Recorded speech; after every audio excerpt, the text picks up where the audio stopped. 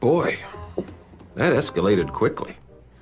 I mean, that really got out of hand fast. Is leading on some of the most important and pressing issues of our time. Uh, no, no, no, no. That, that is just cheap pander.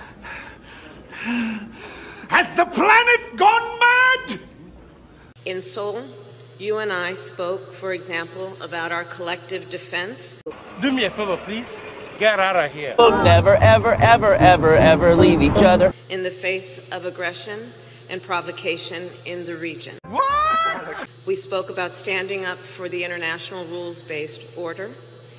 Everything is fine and everything is completely normal. Who? And we strategized on our work together to address the climate crisis